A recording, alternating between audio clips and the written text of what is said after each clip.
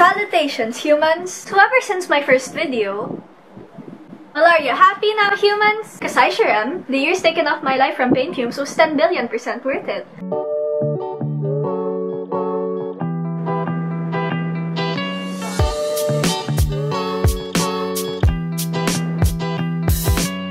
Alrighty, humans, so step one is I'm gonna cheat, or not really cheat, that's for you to decide. I'm gonna use my Nezuko Haori, but not the brown one that I still haven't ironed after over a year. This pink one that I spent like 1.5 years thinking about until I finally decided to get it, and it turns out it was completely worth it. I wear it almost every day, and I love it so gosh, that they darn much. If you don't have something similar, not to worry, just find a loose or big long sleeve thing you can trace since we're modifying it anyway. The cool thing about this is that it's meant to be big and loose, so I can use it to hide all my failures and insecurities behind the pretty butterfly thing. Anyway, here you see me using pattern paper. You can just use anything like tape a bunch of newspaper together or print out all your failed schoolwork and tape it together because eventually the text will become so small you won't remember your failure. Just kidding, printing is expensive. Only use your already printed failed schoolwork. Um, then I picked up the haori, then put it back. I traced the sleeve hole part as you can see, then I extended it up. Then I'm trying to shape it down like her butterfly shape, so I traced it, then added a whoop, you know, a whoop so it's gonna look butterfly Then I had to stop filming because I wanted to check the pictures again, and now we're back with this pattern looking like that Da Vinci symmetry thing. Da Vinci? Anyway, start chop chopping that pattern and well would you look at that, my phone fell over. Da Vinci? Once I cut out my pattern pieces, I stared at them until I hated the shape of the sleeve so I taped it to the extra pattern paper and tried to draw draw and reshape the sleeve. Then time to chop chop again. I love chop chopping. I added extra tape to the back, then when I stared at it again, it took me a bit longer time to hate the shape of the sleeve so I took that as a sign and those are my final pattern pieces. Now, put various cloths over your arm and flop it to check the velocity and evaluate its efficiency in demon slaying. Just kidding, I just wanted to see which one looked better when I lifted my arms. I chose this one. It's microfiber and I chose it because my mom said she had a lot of it. So then I went home with my mom and the fabric and the pattern pieces. Then I think I procrastinated to the next day because that's a different shirt. So first we're gonna make the back panel where you saw I folded the fabric in half and aligned the straight side and pinned the pattern in place using the only three pins left in my pin cushion. Where did the others go? Cut it out and remember seam allowance. Here I'm transferring the pins as I go because I only have three. And after you can unpin and unfold it and look, it's symmetrical like the Da Vinci. Now to make the front panels, to get the size right, I folded the pattern to be like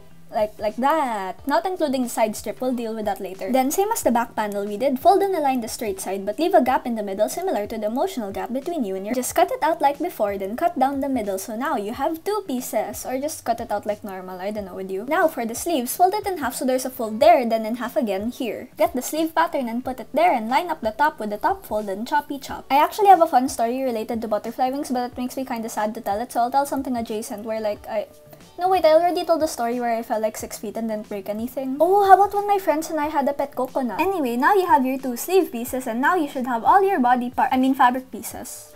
Alright, humans. So the last time I used a red blood cell machine,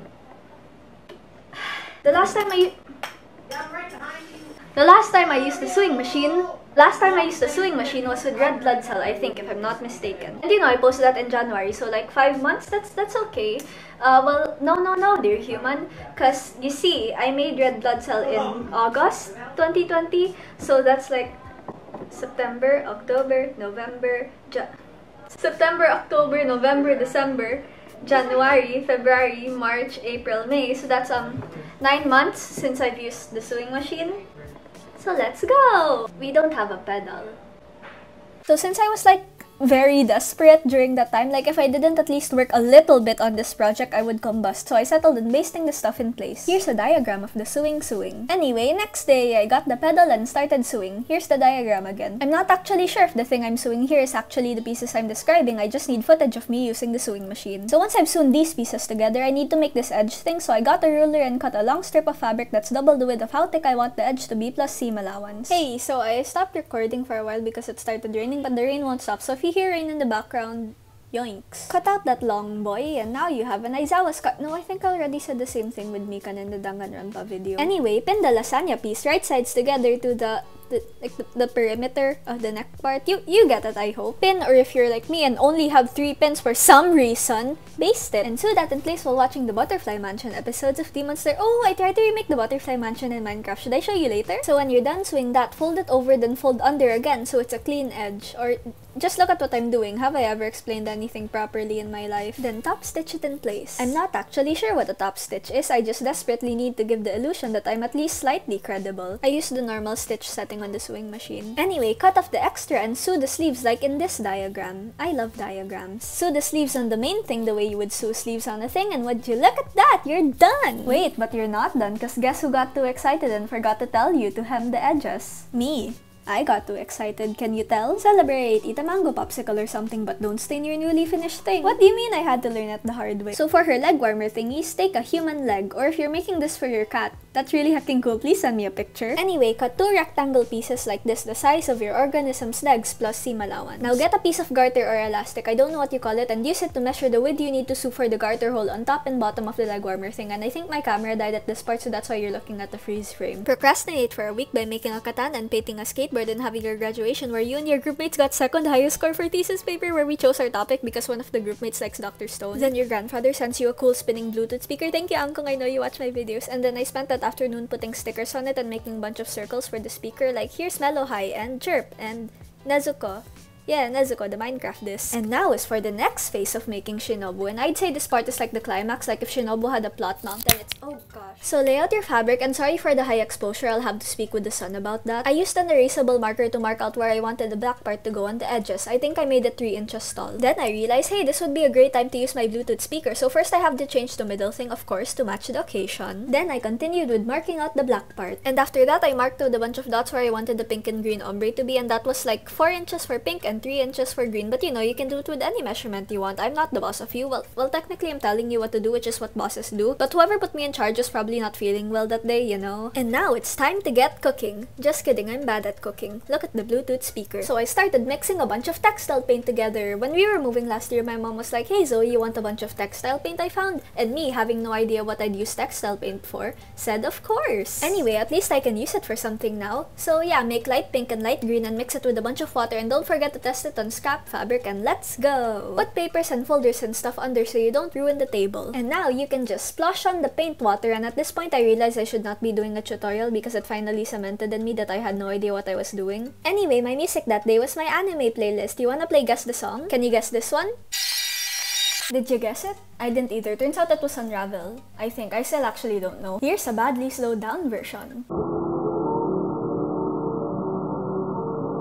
When one part is finally dry, it's time to paint the sleeves. So hey, look, it's nighttime. So the way I did the sleeves was, you know, put paper in between first, and then I painted one side and waited for it to dry, then do the other side. Aw, a bug! Oh wait, I'm making the insect pillar! It's all coming together. This bug was meant to be- oh, it crawled under. So if you zoom in enough, you can just barely see me working on the other sleeve. Also, don't forget the leg warmers because I forgot the leg warmers. So now, when one side is dry, you can flip it over and do the same thing again. Then when it was dry, I don't know why I thought this would work, but I added extra water and painted the edge to try to ombre it, but as I already stated, I had no idea what I was doing. Also, the camera died at that exact part. Then here, I'm saying something about it being the next day, but I forgot to turn off the music so you can hear Lovejoy's One Day in the background and I don't want to get copyrighted again. So yeah, it's green time and it's basically just the same as yesterday or last last week as of the time of this voiceover. Look at the sunlight, it's so pretty. So my music for that day was first I finally listened to Lovejoy for the first time that day. I repeated the album like three times and one day like five times. Can you tell I like one day? I also re-listened to the Black Parade, Vessel, I Don't Know How But They Found Me's 1981 something something album. I can't remember the name of. Also, the reason I did pink first was so that when I did green while it was drying, I could work on drawing the spotty shaped things on the bottom. And gosh diddly darn, look at that and I forgot the leg warmers again. I did the same water thing with the green like I did for the pink as you can see here. Then I used plain unflavored I mean uncolored water and stuff to mix it all together and you know you got the best of both worlds. Now I bet you're wondering, what do I do with all this extra paint water? Well, well, well, dear humans, the answer is quite simple. You drink it, of course. J- just kidding. This is this is matcha. I made it just so I could make this joke, but it's not even that funny of a joke. Did I tell you about that one time I accidentally put a spoon in paint? Anyway, next I use a permanent black fabric marker to outline the spots on the bottom and the sleeves. Then I laid the haori and leg pieces on the table to give myself some semblance of productivity. Then I watched the Bunny Girl Senpai movie while using black textile paint to paint around the spots. I did this inside at first, but it was stinky, so I went back outside again. Like, look, I'm wearing a mask because it was stinky. Hey humans, so my friends and I are having our first movie night, and we're finally gonna watch the Demon Slayer movie. Can you tell I'm excited? Can you tell? Huh? Can you tell I'm excited? Also, look, we have matching profile pics. One goal in life and aspiration has been reached. Next is to get over my fear of octopuses so I can finally watch Assassination Classroom. Movie night was so fun. I very enjoyed Mugen Train. We counted in Rengoku said delicious like 15 or 16 times in that scene, but please correct me if I'm wrong. I would be ruined if I went through life with misinformation on how many times Rengoku said delicious. I know through the power of editing, I could just technically skip to the end of the painting process, but I'm very bitter and I need you to know how gosh diddly hecking long this part took me. This clip right here is day 2 and I know it was only the second day, but I was already getting headaches, okay? I was in pain without the tea. Day 3, I was talking with my friends and their matching profile pics and then... Oh, butterfly, but now it's gone. Is it? Eh. The stupid thing about that was that I missed the butterfly because I ran inside to get my phone when my camera was right next to me! On day 4, my friends and I were working on a plan to frame someone in our Minecraft server for possession of a illegal substance. Also, by this time, the paint fumes no longer bothered me. I know that's a horrible sign of something, but if you couldn't tell, I was already unhealthily dedicated to Shinobu at this point. And I finally finished on day 5, so I decided to procrastinate, I mean take a healthy break by watching a 4-hour iCarly analysis. And now, it's time to reminisce on the first two days of quarantine when I spent that time drawing the Nezuko fabric. Not this one, I just wanted an excuse to wear this cosplay. The other one, cause Mamma Mia, here we go again. By the way, I recently did get to watch Mamma Mia for the first time. I really like it. The blue erasable marker I used last time ran out of ink, so I got the idea to threaten, politely ask my sister to borrow her Doodle Pony washable marker, and by golly, Mothman, it worked! So just like how I approach everything important in life, I winged the pattern with the erasable marker. Here's some reference picture- Wait, are you even planning on doing this after seeing how much work this takes? Only a person delusionally obsessed with the Demon Slayer Butterfly Girls would spend 7 out of 10 weeks of their summer vacation working on a costume of one of them. Can,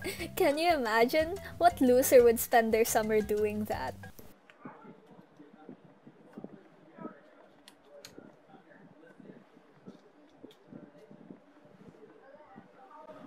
What? Then I went over the lines with a permanent marker. Then I guess I got really sleepy halfway and brought the thing to bed with me because the next morning when I woke up, it was in my bed with me. Most people wake up next to their significant others or stuffed toys, but I wake up next to my unfinished sewing projects. But also stuffed toys. So yeah, I got up and continued working on the markering and it actually only took one afternoon for the rest of this, which is pretty cool. Holy heck, orange juice humans, it's done! I mean, not completely done, you know, I still have to but oh, after like four weeks of working on it, so many paint fumes, so many lost brain cells. Um, but we're not actually done. No, no, no, no, dear humans. Um, leg warmers. Before we move on, I'd like to take this time to force you to look at these shots of the Haori looking cool.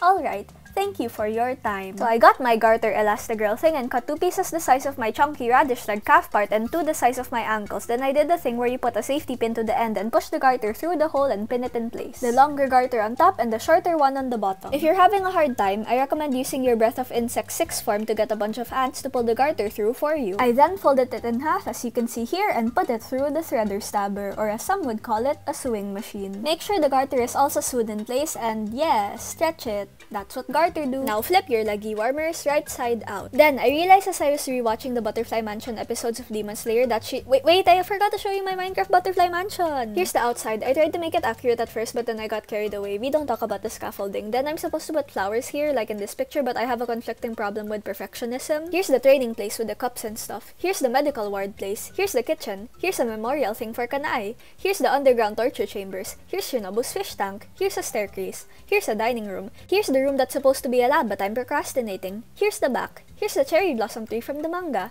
Here's where the coin toss scene happened. Here's where Kanao had her flashback. Here's a display of a bunch of things I spent too much time on. Those are some cool statues in the distance. Someone teach me how to decorate a garden. Here's Science Island and Ishigamiville. Okay, sorry, that's a different anime. Anyway, when I was rewatching, I saw she has these cute bows in the back, so I got some ribbon, That's actually bias tape, I couldn't find ribbon. And I just tied them into bows and sewed them onto the back and the Demon Slayer character design is just so beautiful. Sorry, yeah, you're done with the leg warmers. Hey, moral support Megumin is back. Did you miss her? She lost a hand. So I got my uniform. It's a different one from the last video. It's a remake, but yeah. I know I used jogging pants in that video also, but now I have a different method. Why they jump like that? So my mom gave me these they're not funky. I was gonna call them funky. These pants, and I have soccer socks because they're the only black socks I own. I miss soccer. So I'm gonna put these... You know what these are? I'm gonna put them on my... I'm gonna put them on my pants like this. Uh, I need like, you know, those fancy B-roll. Do I ever put B-roll footage? Now you may be thinking, those are kinda small. Won't that maybe cut off your circulation? Yeah.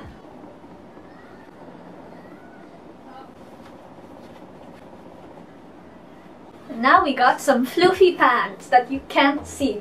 Gosh, diddly darn. Leg warmers. And I'm gonna put them on like normal. Woo! Look at the bows! You can't, uh, you, you saw it, at the time. oh my gosh, now I go in. Oh, but how did you do the hair? Well, I didn't just stop at the Haori and leg warmers. You really think my obsession with Shinobu would only go as far as that?